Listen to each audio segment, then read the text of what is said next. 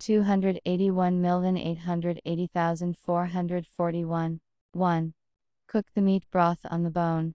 You can take pork, beef, or chicken. Pre soaked meat for 30 minutes, pour fresh water, and put it on a large fire. When the water starts to boil, remove the foam, and reduce the heat. Let the meat cook for 30 minutes. 2. Peel and chop the vegetables. Add soaked dried mushrooms and potatoes to the broth. Cook for 10 minutes.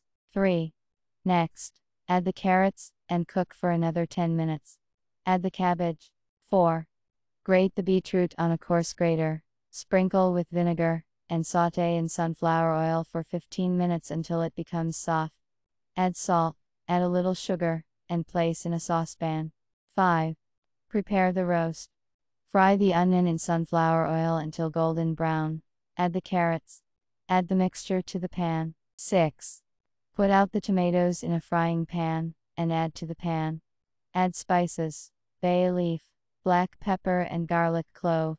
7. Let the borscht brew for 40 minutes. Serve with sour cream. Bon appetit.